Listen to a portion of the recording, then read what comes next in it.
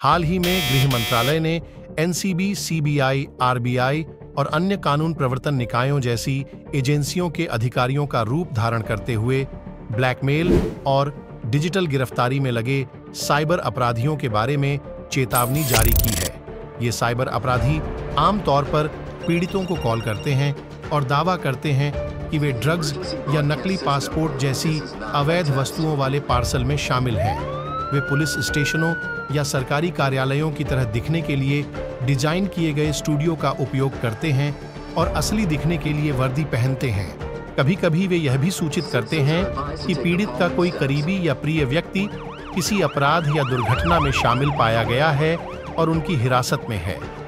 ऐसे कथित केस में समझौता करने के लिए पैसे की मांग की जाती है।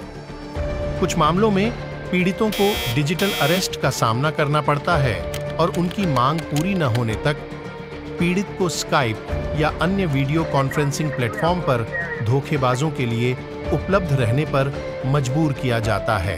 गृह मंत्रालय के तहत भारतीय साइबर अपराध समन्वय केंद्र आई ने भी माइक्रोसॉफ्ट के सहयोग से ऐसी गतिविधियों में शामिल एक हज़ार से अधिक स्काइप आईडी को ब्लॉक कर दिया है।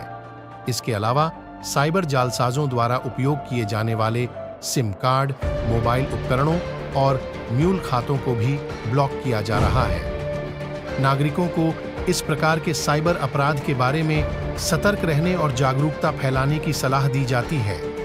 ऐसी कॉल आने पर व्यक्तियों को तुरंत घटना की सूचना, अपने नजदीकी पुलिस स्टेशन या साइबर क्राइम हेल्पलाइन नंबर 1930 पर देनी चाहिए और सहायता के लिए www.cybercrime.gov.in पर जाना चाहिए